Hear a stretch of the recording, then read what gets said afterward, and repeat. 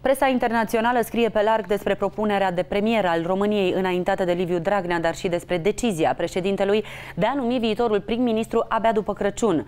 Sevil Șaide este numită o apropiată a liderului PSD. Dacă va obține funcția, ea va deveni primul premier musulman din Uniunea Europeană și prima femeie care conduce guvernul României, scriu publicațiile străine. Agenția Reuters scrie că stânga din România o propune ca premier pe o aliată a lui Liviu Dragnea, care pierde funcția din cauza condamnării sale penale pentru fraudarea referendumului din 2012.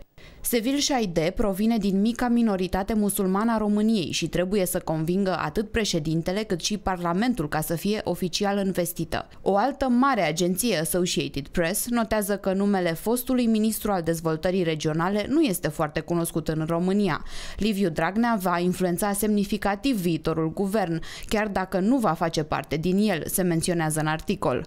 Fox News titrează că președintele României amână numirea primei femei musulmane ca lider lider al executivului, până după Crăciun, fără să ofere o explicație clară. Al Arabia, televiziune saudită cu sediul la Dubai, menționează că o femeie musulmană căsătorită cu un sirian ar putea fi premierul României. Sevil Shaide este, din 2011, soția unui om de afaceri din Siria în vârstă de 64 de ani. Primul premier musulman din Europa ar putea fi numit în România, informează ziarul Financial Times. În această calitate, ea ar putea avea întâlniri cu prim-ministrii europeni care se opun imigrației și așa zisei islamizări a Europei.